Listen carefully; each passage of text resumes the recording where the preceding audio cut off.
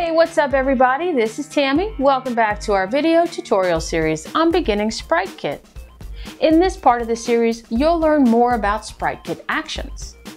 As you saw in the previous video, actions allow you to manipulate your sprites, but actions can also be used to animate sprites. To run an animation action, you first need to gather a list of images called textures that make up the frames of the animation. A sprite has a texture assigned to it, but you can always swap out the texture with a different one by setting the texture property on the sprite. In fact, this is what animations do for you. They automatically swap out your sprite's textures over time with a slight delay between each. All you need to do is create an array with your textures and then use the method animate with textures, passing in the texture array and the time per frame. Let's jump into the demo and see this in action. The first thing we're going to do is create a constant to hold our SK action, and that will actually be the zombie animation. We're going to do this in the gamescene.swift file. Now that we have a constant to hold our zombie animation, we'll need to create an array to hold the textures for our zombie animation, and we'll do that in the init method.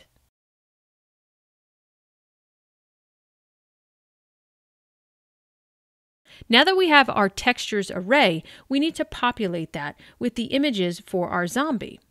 We'll do this with a simple loop. We're also going to add two additional images at the end, and we'll pull those out of the array that we create. This will give the zombie a smooth animation as he moves.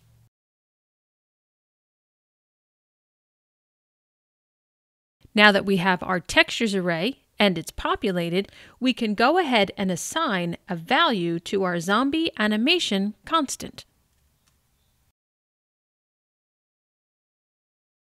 So you can see here on line 56 that we're using the animate with textures and we're passing in our array of textures and the time per frame to create our zombie animation action.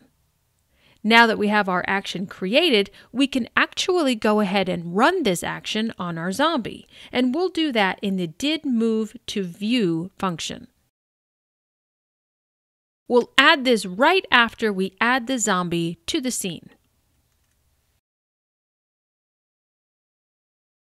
And of course, this animation of our zombie, we want to run forever, so we're using the repeat action forever action in order to continue to have the zombie animate. Let's build and run and see what we have.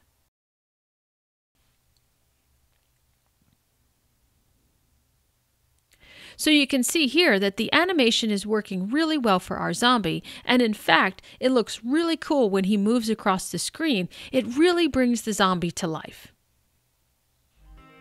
That's it for this video tutorial, and now we have a challenge waiting for you. Your challenge is to create functions to start and stop the zombie animation. I hope you enjoyed this video tutorial. Thanks for watching, and we'll see you next time.